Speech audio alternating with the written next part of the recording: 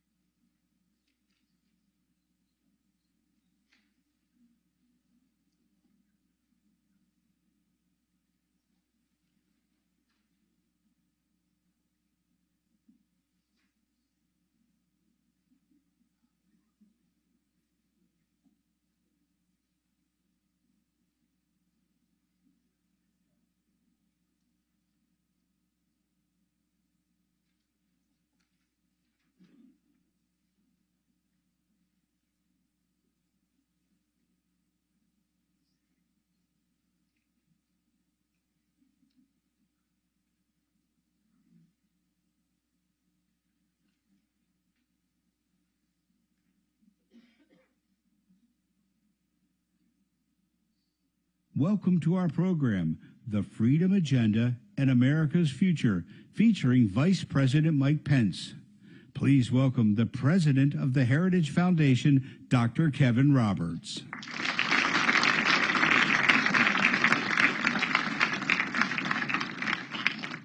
We wanted to make sure you're awake, which is why we did that twice. Thanks for being here. It is great to see a full auditorium and then some at the Heritage Foundation, especially for our friend, Vice President Mike Pence. And we know that thousands, if not tens of thousands of people are tuning in and will be tuning in. So thanks for being here. It's a great day to be alive in America, in spite of the fact that we know that there are a lot of challenges here. And we know that there are a lot of commentaries right now about the midterm elections, as there should be. Elections and campaigns are important. But you know that the lane that the Heritage Foundation occupies and in fact, the lane that we specialize in is policy. And so today, from our friend, we're going to hear a lot about policy. And at the conclusion of his remarks, he and I will have a conversation that focuses on that. And we'll be talking about the consequences of elections. It's not enough as American conservatives merely to win elections. Here at Heritage, we know what time it is in America. And the time that it is, is the time to reclaim this country with smiles on our faces, with a commitment and with courage to govern as conservatives. And in my time, now as a policy leader, before as an education leader, when I thought about people in Washington, D.C., who personified that commitment, at the top of the list always was Mike Pence. And so here at Heritage, where the vice president, after his service as vice president, served for more than a year as a distinguished senior fellow. He's a longtime friend. Please join me in welcoming Vice President Mike Pence.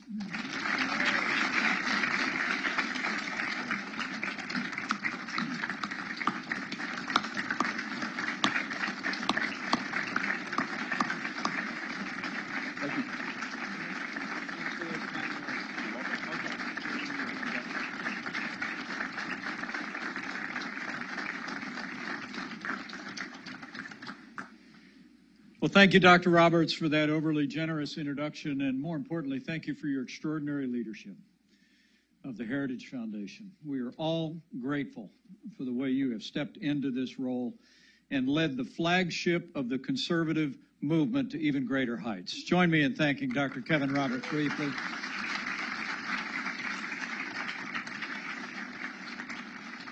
Now, Dr. Roberts and I have known each other a long time.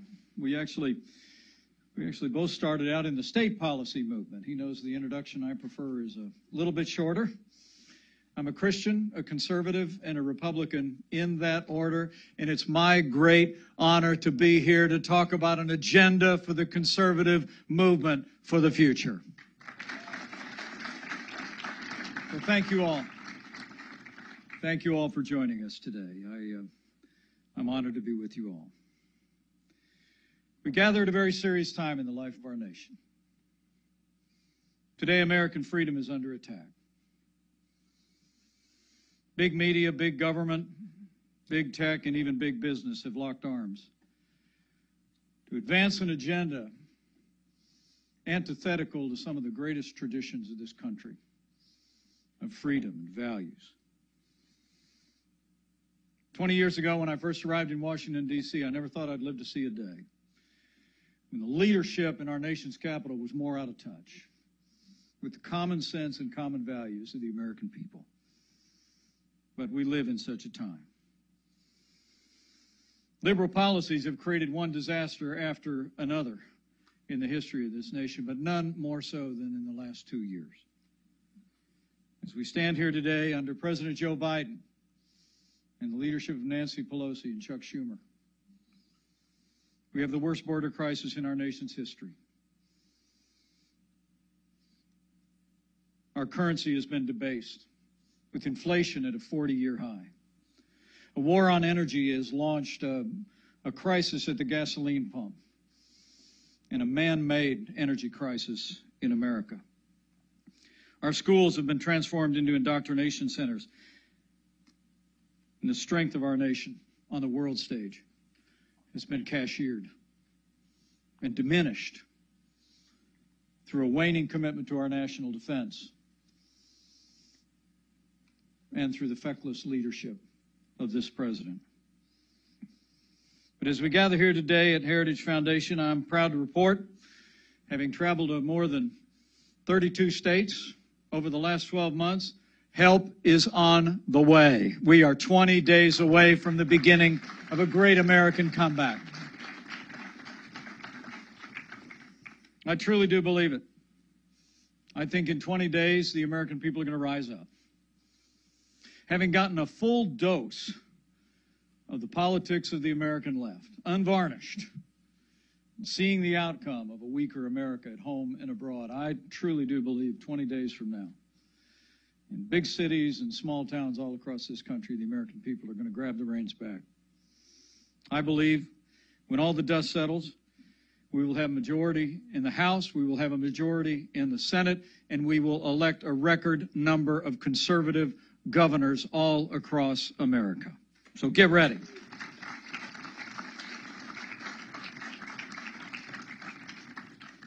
That being said, there's no time like the present to talk about the future. You know, I originally planned to be here at Heritage Foundation back in July, but uh, nature had different plans. I appreciate many of you for rescheduling this delayed presentation. But maybe it's what we call at my house God's timing. It's now more than ever we ought to be thinking not just about Election Day, but about the day after Election Day and what the agenda will be for really bringing America back, which you and I all know is going to be by returning America to the principles of the American founding, by returning this nation to the time honored traditions and values and ideals that created unprecedented prosperity in the freest and most prosperous nation in the history of the world. And I want to speak about that today. But before I do, let me pay a debt of gratitude and honor to the Heritage Foundation. You know, Heritage Foundation for me, anytime I come, always feels a little bit like a homecoming. I first ran for Congress back when Ronald Reagan was in the White House. I lost twice. But I had an opportunity to learn about a place called the Heritage Foundation. And I went back to Indiana after those losses and I I started a state policy group that was inspired by the Heritage Foundation. And all through my years in the Congress, my years as governor of Indiana, I must tell you that the men and women here at the Heritage Foundation, this extraordinary and courageous organization, fueled so much of what we conservatives were able to do in the first decade of this century, in my time in Indiana. And I'm incredibly proud to say that under the Trump Pence administration, we implemented nearly two thirds of Heritage Foundation's policy, recommendations. No administration in history had ever adopted heritage policy recommendations faster than ours. And it's because freedom works. But credit where credit is due. As I said, I'm grateful to Dr. Kevin Roberts. I was honored to be a distinguished visiting fellow here at Heritage during my return to private citizenship. But I'm also grateful to his predecessor, my friend Kay Cole James, for her stewardship here and the matchless leadership and visionary leadership of Dr. Ed Feulner, who I consider both a mentor and a friend. Before I press on to my topic of the day, allow me also allow me also to express my deep admiration for the life and the work and the leadership of a man who left us just a few short weeks ago. Phil Truluck was here for nearly four decades at the Heritage Foundation. He served in executive positions. He brought together many of the extraordinary talents that are gathered in this room today and inspired many of the policies that are still celebrated and associated with Heritage Foundation rightly. He was also a truly good man who I remember when I got through a few tight spots in my career, it seemed like it was Phil Truluck. Came alongside and just said, Hang in there, Mike. So to his wife Anne, to all who loved and admired this good man, this principled conservative, we honor the memory of the late Phil Truluck, and we're grateful for his leadership.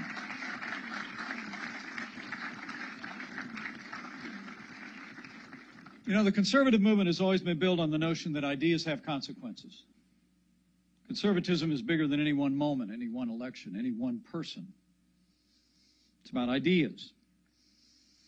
For nearly half a century, Heritage Foundation has been the conservative movement's idea factory. From the Reagan Revolution, the mandate for leadership, inspired the contract for America, and I can tell you, was right there shoulder to shoulder with us throughout our efforts to make America great again in the four years of the Trump Pence administration. Heritage Foundation made a difference. And so, with a great conservative victory just within our reach, I thought it was altogether fitting to come here to the Heritage Foundation and really describe an agenda that I believe will not just lay a foundation for success for our movement or for our party, but more importantly, will lay a foundation of strength and prosperity for millions of Americans. You know, the Bible says in Proverbs 29, where there is no vision, the people perish. And what's true of a people is also true of a movement. And so I truly do believe it's absolutely essential that we, we articulate a vision for the path ahead. A vision that's grounded in our highest ideals and grounded in, uh, grounded in the proven principles that Heritage Foundation has been about all along. And make no mistake about it, oftentimes with victory uh, comes flexibility. I can't help but think of those days when I arrived in 2001 in Washington, D.C. We had won back the Congress, House, and the Senate. We elected a Republican president in the year 2000 from the state of Texas, a man that I deeply admire. But he brought with him uh, the idea of what he came to be known as compassionate conservatism. But I remember as a feisty new freshman in Congress in 2001 saying, compassionate conservatism sounds a whole lot like big government republicanism.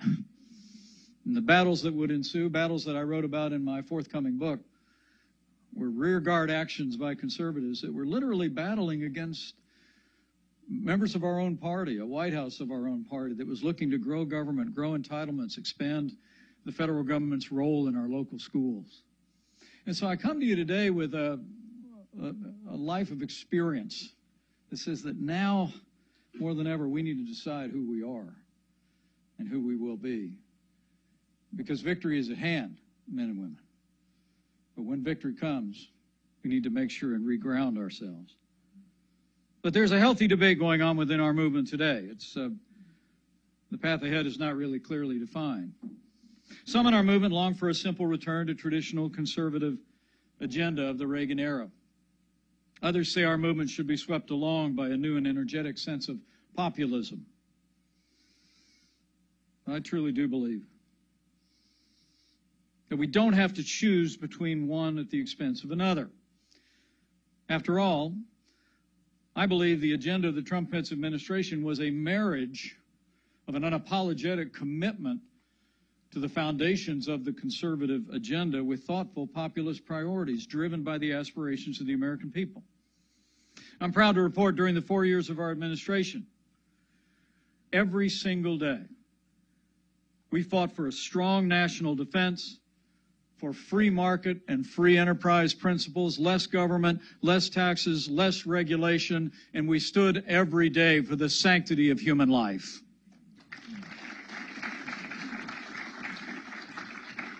But in our administration, we also, we also heeded the call of the American people. We recognize that border security is national security. We recognize that trade must be free and fair. And we changed the national consensus. And now, today in America, the vast majority of the people of this country accept that China is the greatest threat to our security and prosperity in the 21st century. So, today, on the cusp of a new era of Republican leadership for conservatives in this moment in history, I think we need to, we need to chart a course that, that doesn't veer off too far in either direction. Our movement cannot forsake the foundational commitment that we have to security, to limited government, to liberty, and to life. But nor can we allow our movement to be led astray by the siren song of unprincipled populism that's unmoored from our oldest traditions and most cherished values. Let me say, this movement and the party that it animates must remain the movement of a strong national defense, limited government, and traditional moral values and life.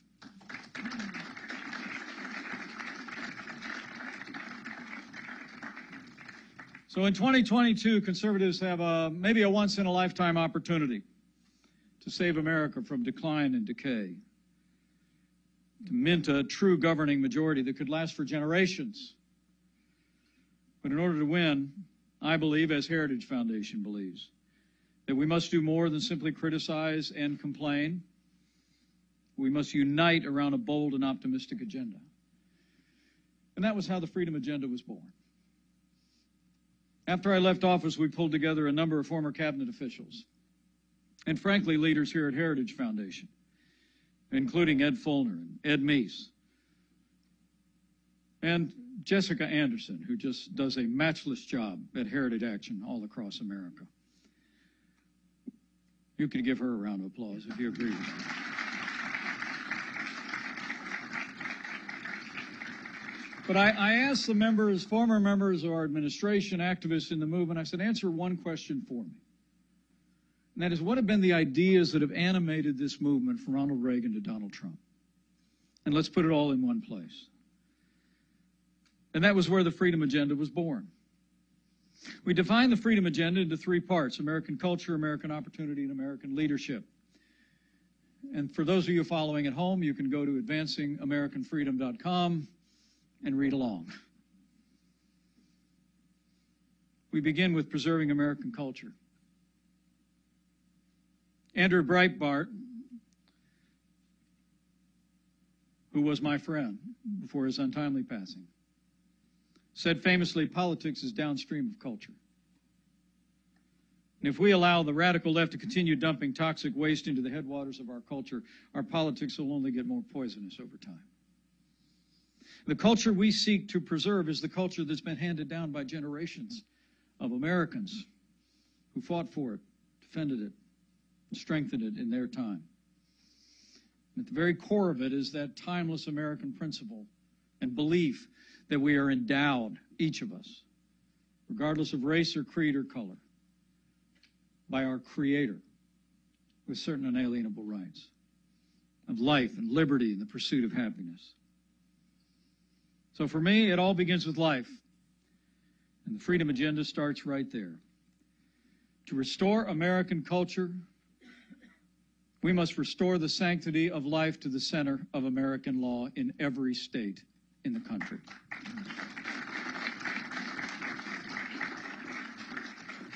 It's humbling for me to think that, uh, that thanks to three Supreme Court justices that were confirmed during our administration, the Supreme Court of the United States this June sent Roe v. Wade to the ash heap of history where it belongs.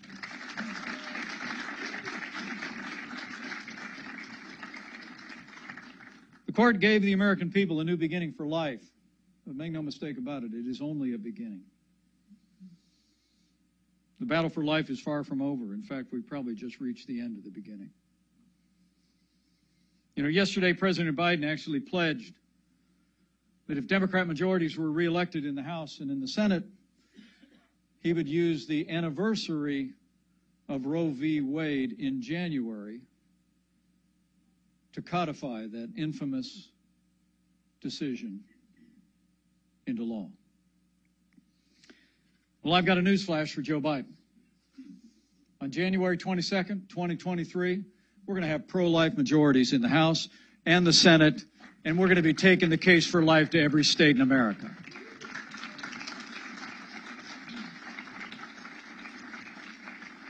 So I say to my fellow conservatives, now is not the time to shrink from the battle, but to lean into the fight for life with compassion and principle. For I truly do believe that many more are with us than are with them. This is a nation that cherishes life. And I believe if we hold the banner of life high, the American people will rally to our cause. Our agenda also calls, of course, for securing our border, protecting our communities, and standing unapologetically with the men and women who serve on the thin blue line of law enforcement. We call for defending the Second Amendment right of the American people, defending religious liberty and the freedom of speech. And when it comes to our schools, the Freedom Agenda recognizes that critical race theory is nothing more than state sponsored racism, and it should be banned from every school in every state in the land.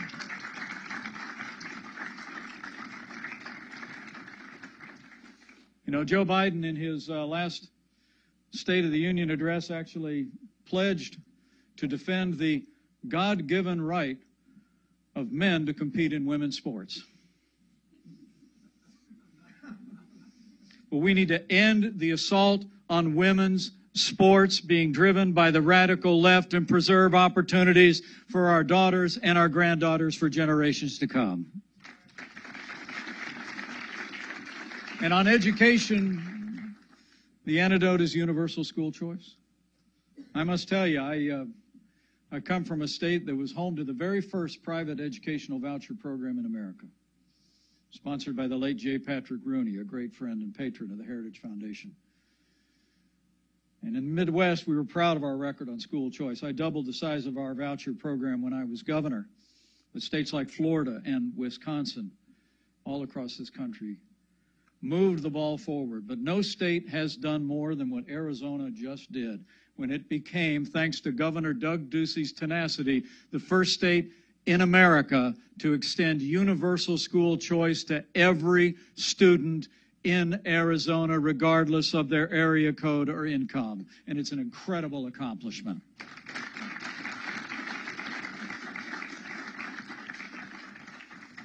You know, there's much talk in our party and our movement about education. There are people that celebrate our possibility of being known as the parent party. And I celebrate that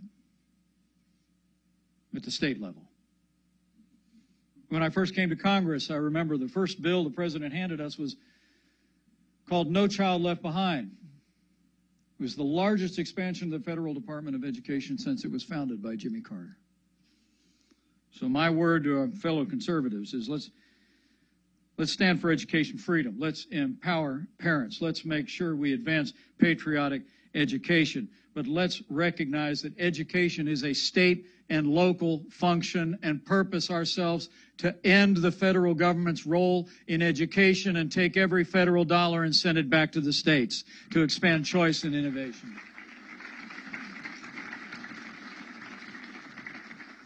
Next on the freedom agenda is, of course, restoring this economy. As I talk to media around the country, they often say there's always a new issue, seems like every day they think is going to drive the midterm elections. I tell them they're wrong. Everywhere I go, it's about inflation and gasoline prices and crime and the border. This 40 year high inflation is crushing American families. I talked at a gas station to a young mother in Hobart, Indiana, not long ago, who said literally that the rising price of gasoline at the pump, driven by Joe Biden's war on energy, has caused their family to have to go to a food bank twice a week just to have enough food to put on the table. Well, we know how to restore American prosperity. Under the Trump Pence administration, we cut taxes, rolled back regulation. We unleashed American energy, and in three short years, 7 million good paying jobs. Unemployment plummeted to a 50 year low, and the unemployment rate for African Americans and Hispanic Americans was the lowest ever recorded. And we can do it all again by embracing the policies of our administration, extending the Trump Pence tax cuts, having more reciprocal trade deals in the world, and unleashing American energy.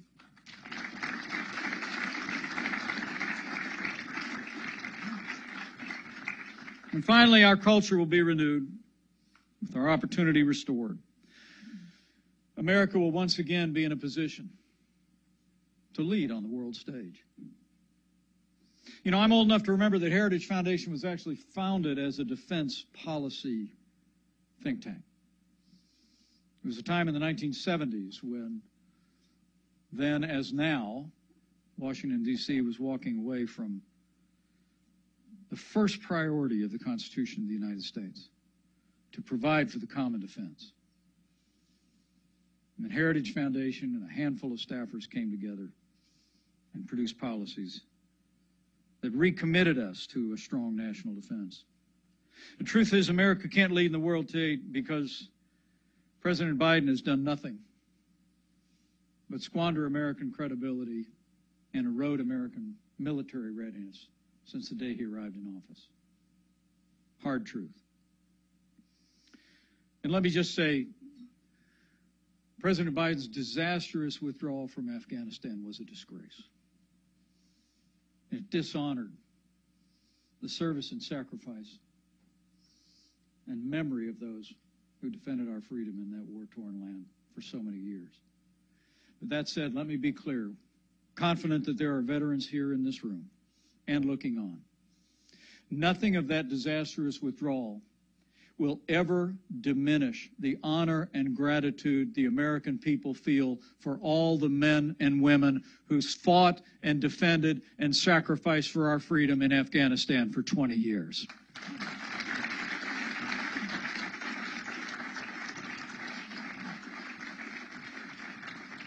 But you all gathered here know that only a strong America can lead. And that was why, under our administration, we rebuilt our military. $3 trillion in defense spending, including $740 billion in 2021 alone. Just as importantly, with some tough love with our allies around the world, we secured more than $400 billion in increased spending for our common defense from our NATO allies and other allies around the world.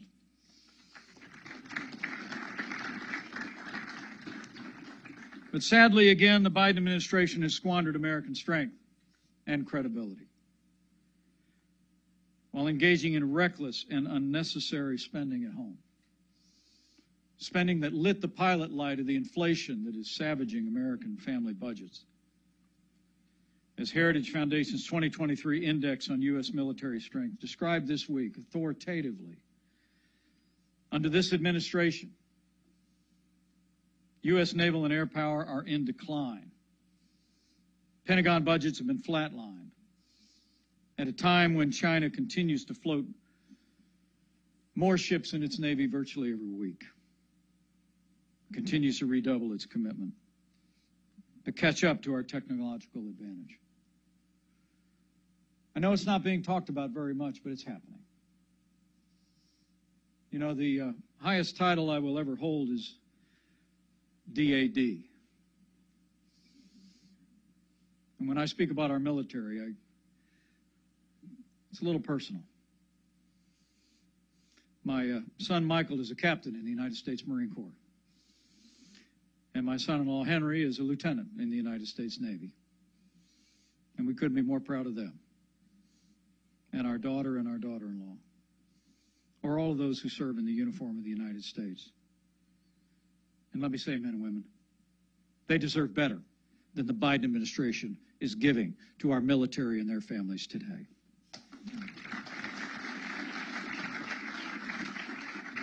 And so does America. You know, I've always said weakness arouses evil, but peace comes through strength. You know, I think it's important to note our administration was the only administration in the 21st century where Vladimir Putin did not attempt to redraw international lines by force. And it was no coincidence. The truth is, we not only made historic investments in our national defense, but we had a commander in chief who was willing to let our armed forces do their job. They took down the ISIS caliphate.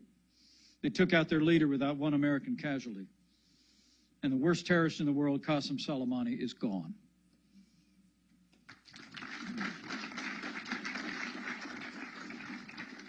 It was the credibility of the use of force, the willingness to use American force, and being prepared to use force that made the world a lot calmer place in our four years.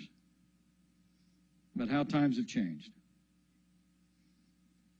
As Russia continues its unconscionable war of aggression to Ukraine, I believe the conservatives must make it clear that Putin must stop and Putin will pay. There can be no room in the conservative movement for apologists for Putin. There is only room in this movement for champions of freedom.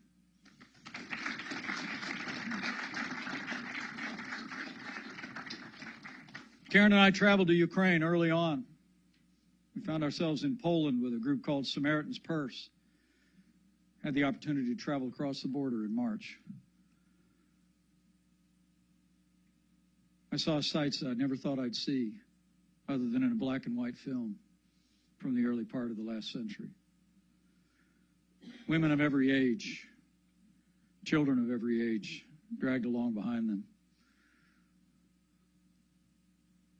With every one of the earthly possessions that they could carry, all in long lines, streaming out of the country.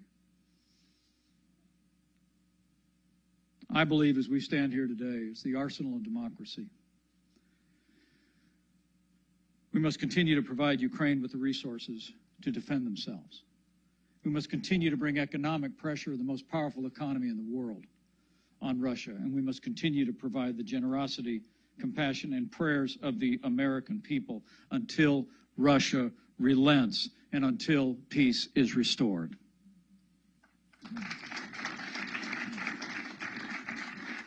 I want to be clear on this. John Quincy Adams said memorably America must never go, quote, abroad in search of monsters to destroy. We never have. It's not who we are. But nevertheless, neither can we afford to ignore the rising tide of enemies of freedom around the world. A resurgent Russia, increasingly aggressive Chinese Communist Party and military, Iran and North Korea. And we have to have a military fit to the task. This means, first and foremost, funding our military and providing our service members with the resources and training they need to accomplish their mission and come home safe, and make up for the Biden deficit in defense spending that's underway in America today, however unreported. It also means ending the practice of filling the heads of our military personnel with politically correct nonsense and refocusing our military on the mission at hand.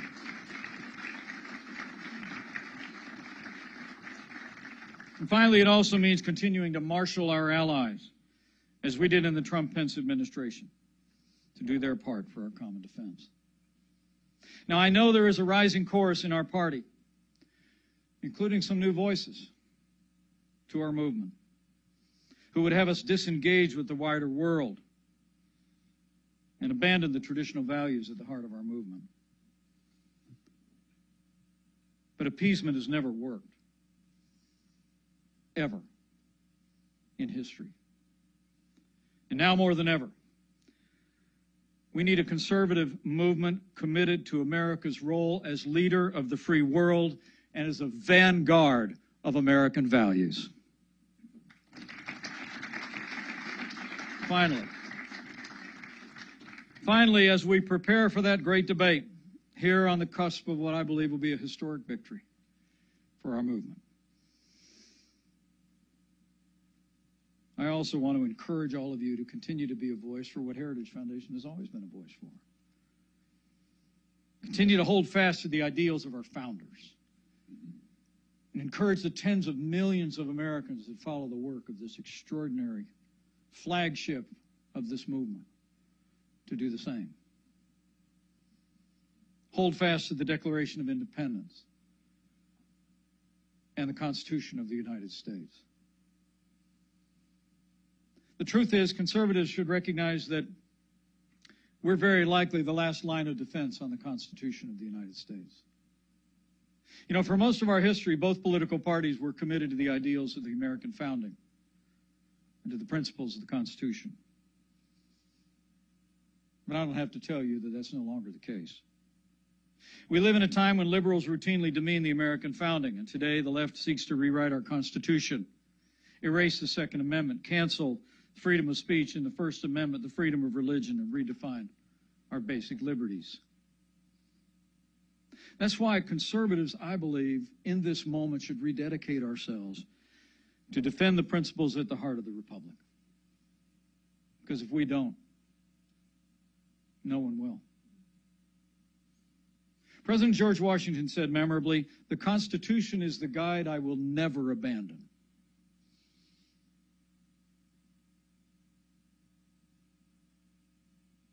And so too should we say. You know, every office holder in America takes the same oath to support and defend the Constitution of the United States. I took that oath in January of 2017 to become your vice president. My left hand on a family Bible and the Bible of our 40th president, Ronald Reagan.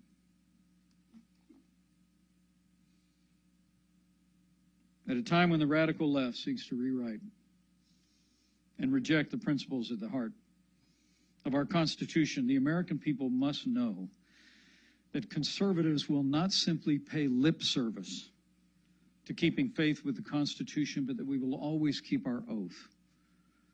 That we will keep our oath, as the Bible says, even when it hurts. We will stand for the Constitution. We will uphold its principles even when it would be politically expedient to do otherwise. Because if conservatives don't defend the Constitution, we won't just lose elections, we'll lose our country. So, men and women of the Heritage Foundation, that's the freedom agenda. And no time like the present to think about the future. Because the future's coming fast. I have every confidence that uh, when 20 days have passed,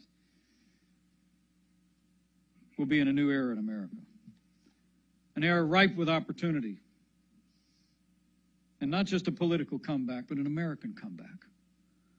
An opportunity for the American people to advance the principles that they know will make us stronger and more secure and more prosperous and will strengthen the foundation under the timeless values that have created the freest and most prosperous nation in the history of the world.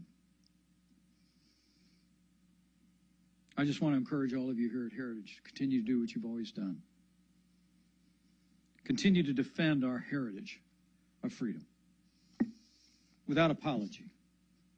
Continue to guide and direct this movement.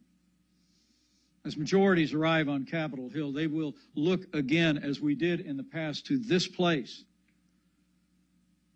And I encourage you to step up and lead. Give them the guidance to be able to steer a course back to a boundless American future. And I will thank you in advance because I know you will. Because I know Heritage Foundation. I've been around here for a while. And I got the gray hair to prove it. But I also have faith. You know, in my years as your vice president, my opinion of the American government occasionally went down and has done so in the last two years. But every single day of my public life, my opinion of the American people has gone up. This is a great people. I've seen the American people in good times and in bad. In the wake of natural disasters, I've stood with soldiers in far field places. I've stood with members of law enforcement. I've seen the selflessness of our healthcare workers. I can't help but think when I think of the American people of what King Solomon said when he was tasked with leadership. He was asked for what he would pray. And he said, Give me a discerning heart to distinguish between right and wrong. For who is able to govern this great people of yours? I love that prayer for two reasons. Number one, like millions of Americans throughout our generation, he, he knew whose he was. Knew to look up. But he also knew who he served. And I just want to say to Heritage Foundation if we will simply renew our faith in him who has ever guided this extraordinary experiment in freedom for all these years, if we will simply continue to stand firm for that heritage of freedom and values that has made our nation great, and if we'll also understand and believe that this is a great nation, a good, compassionate, decent nation that will rally to our cause. I know the best days for freedom and for America are yet to come. Thank you very much. God bless you. God bless America.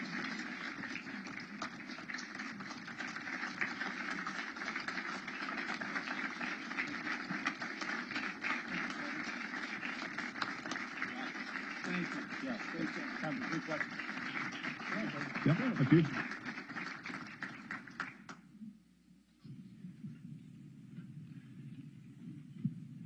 Well, Mr. Vice President, thank you. Great.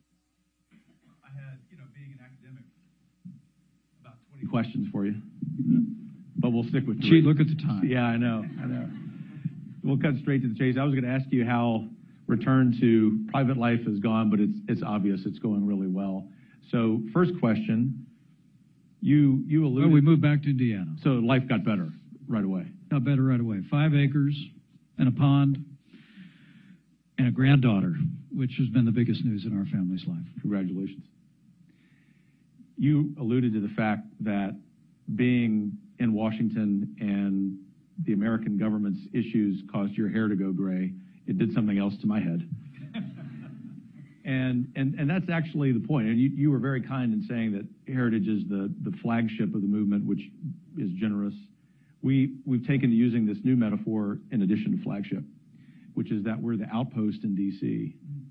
for the everyday American at a time when, frankly, sir, too many elected officials forget why they come here.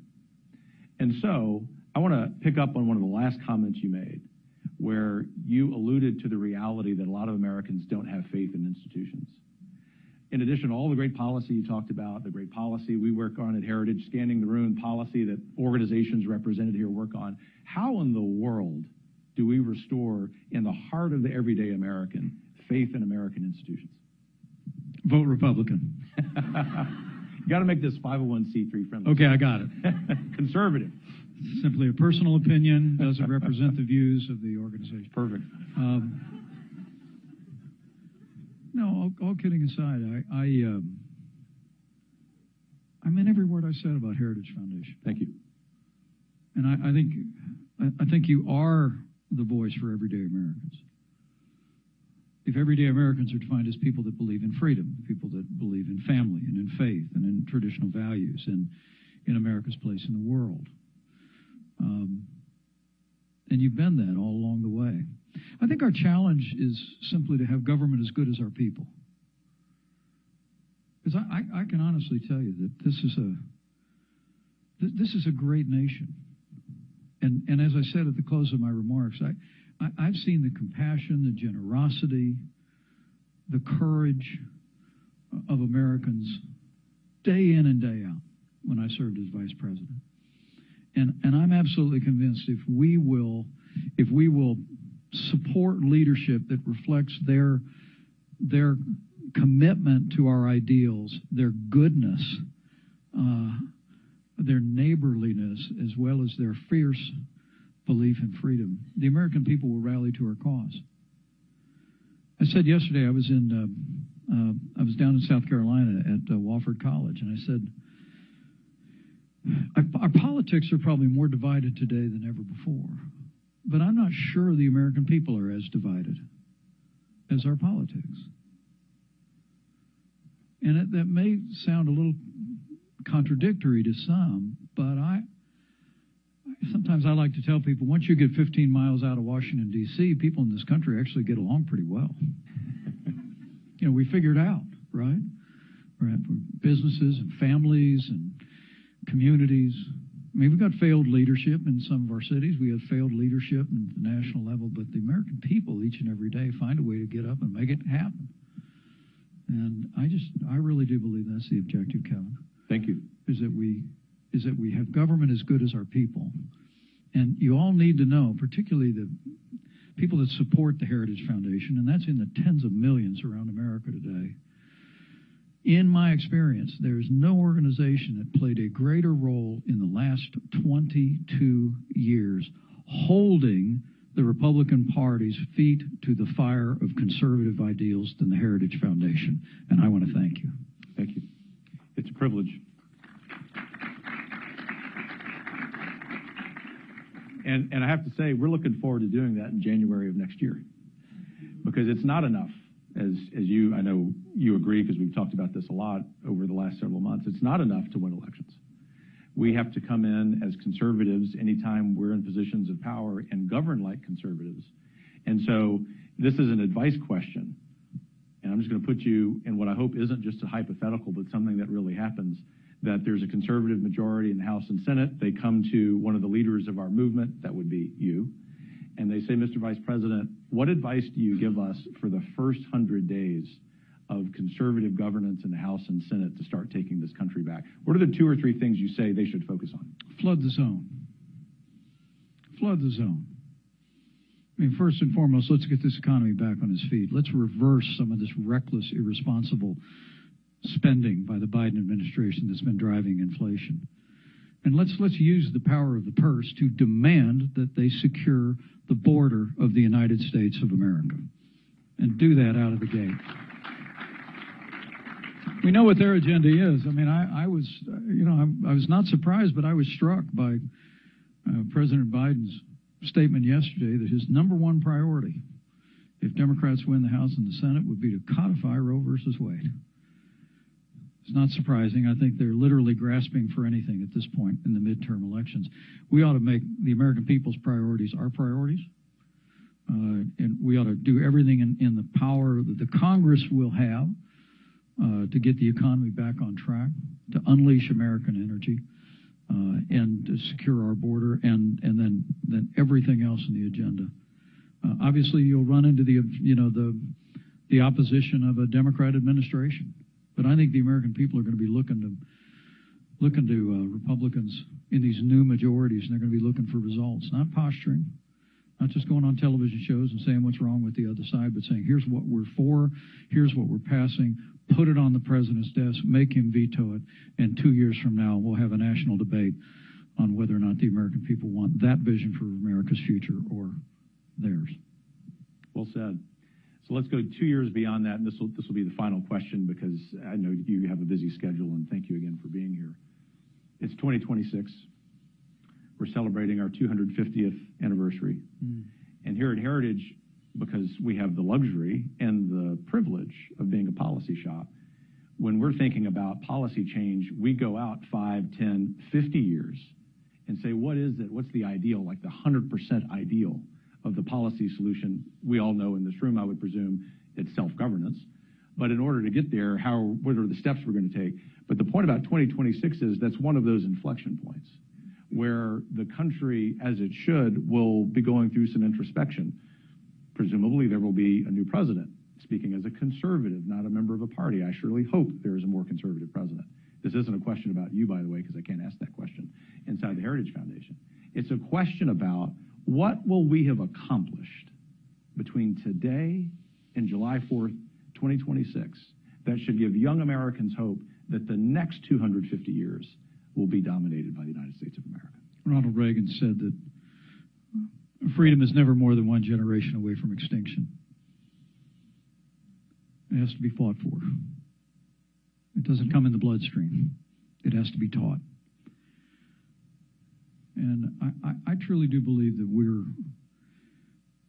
we're in a moment, we're in an inflection point in the life of this nation. The American people have now seen the secular socialist welfare state that the Democrats have been talking about for decades. I mean, if there's any silver lining in the disastrous record of the Biden administration, and Pelosi and Schumer, it's that and the American people see where they want to take us. And I, I truly do believe that that's that's not a future of freedom. And so I, I truly do believe that in 20 days from now, let's win a victory for freedom. Two years from then, let's win another victory for freedom. And when we get to 2026, and I'm, you know, I'm a, I'm a student of the American founding. I, I never taught Dr. Roberts. I never. But you get an A plus, sir. I mean, you're doing great. I don't remember any A pluses. Uh, but I, I, took a degree in American history. I love the American founding. I mean, what a great opportunity for us. In the years leading up to our 250th anniversary of the birth of our freedom, for us to say that in our time, we defended freedom. In our time, we reinvigorated and renewed America's commitment to the ideals of our founders. And, and then, and then two, 250 can be a celebration of that. I mean, that's the,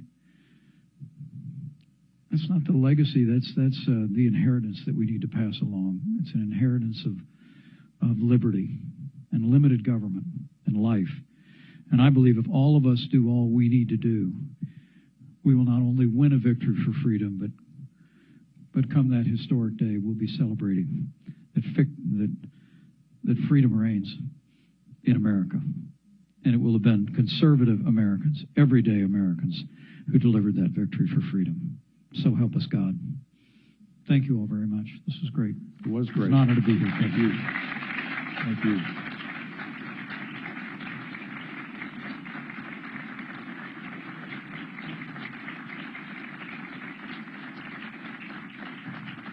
There are, uh, Mr. Vice President, there's still a lot of grateful Americans out there for you, and, and I'm going to come back to that in 30 seconds. But let me say that once we wrap, because you, won't be able to, hear my logistical comment over the applause, which should happen. Please give the Vice President a couple minutes to exit the room so we move on to the next stop while you remain in your seats. He doesn't care about that, but we at Heritage do. But let me say this I'm just going to play historian for a minute. You and I talk often about leadership when we visit and history, not just of this country, but I see some friends from around the world, leadership and statesmen, statesmen in other countries know the cultural inheritance they are born with. And I just want to say, as a historical comment, obviously not a political one, you're one of the statesmen of our age. God bless you.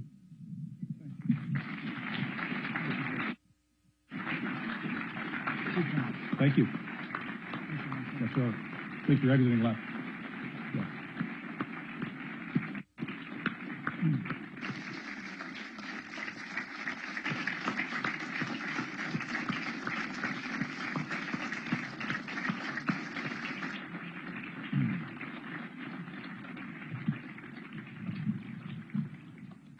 Thank you all. Have a great day.